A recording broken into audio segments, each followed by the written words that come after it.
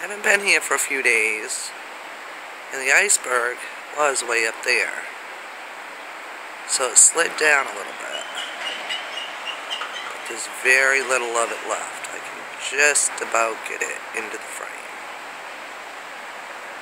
A couple of pieces that are on their own, I guess.